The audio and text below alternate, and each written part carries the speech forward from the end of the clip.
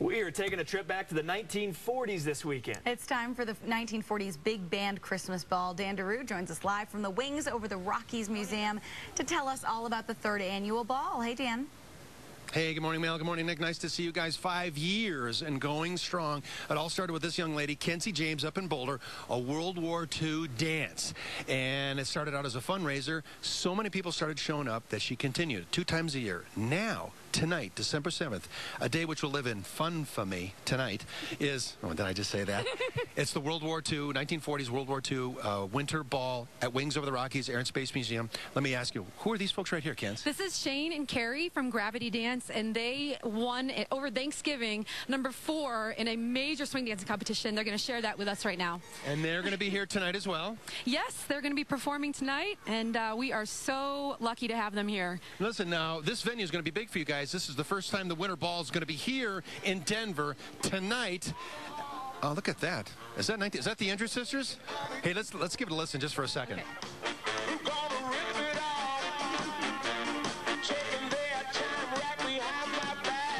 Dancing really keeps you limber.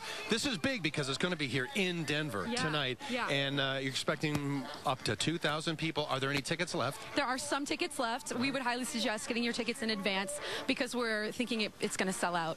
And uh, there's going to be World War II reenactors. Of course, we're at a World War II era built hangar. That's Wings Over the Rockies, Air and Space Museum.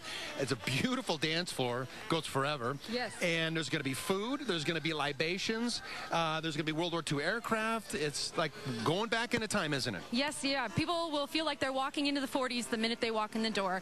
We're doing reenactments from White Christmas Uh-huh. and from It's a Wonderful Life. We're actually making that whole area back there into Yeah. the uh, Main Street Bedford Falls. Very good. KDVR.com is our website. Check it out. And it's tonight. Wings Over the Rockies. Air and Space. I think this is the Andrews sisters.